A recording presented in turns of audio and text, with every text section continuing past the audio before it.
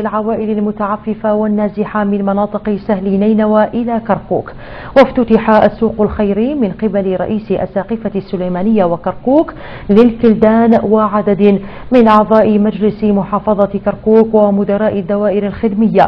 منظمو السوق الخيري أكدوا بأن الهدف من افتتاح السوق هو مساعدة العوائل المتعففة والنازحة. حيث أن أسعار المعروضات في السوق زهيدة.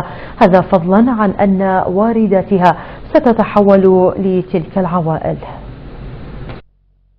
للعوائل المتعففة والعوائل النازحة من سهل نينوى إلى كركوك نظم اتحاد نساء الآشوريين بكركوك سوقا خيريا والذي تم افتتاحه من قبل رئيس أساقفة كركوك والسليمانية للكلدان وعدد من أعضاء مجلس المحافظة ومدراء الدوائر الخدمية في النادي الآشوري. السوق الخيري هو نوع من المقاومة أيضا.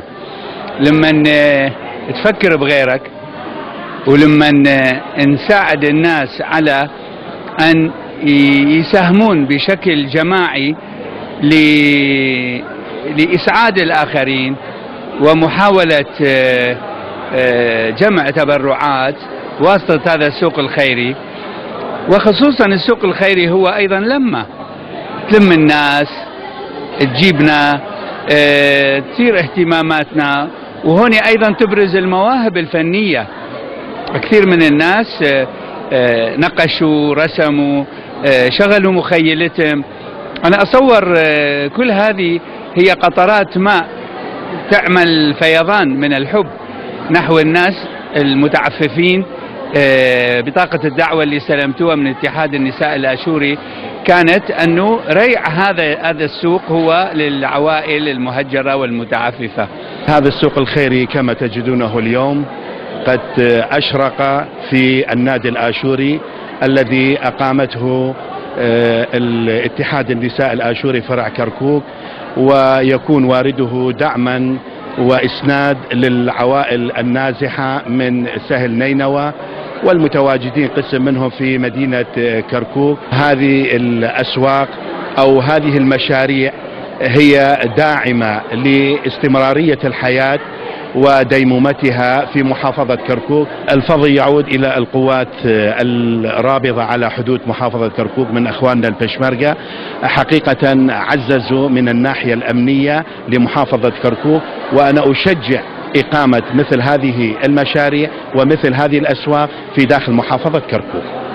منظمو السوق الخيري والعاملون فيها قالوا أن فكرة هذا السوق جاءت من منطلق المساعدة للعوائل المحتاجة إن كانت متعففة أو نازحة ووارداتها تتحول إلى تلك العوائل وأن أسعار المعروضات هي أسعار زهيدة. والفكرة جاءت أيضا بمناسبة الذكرى السنوية لتأسيس اتحاد نساء الأشوريين. مناسبة ذكرى تأسيس الاتحاد النساء الآشوري الثالثة والعشرين.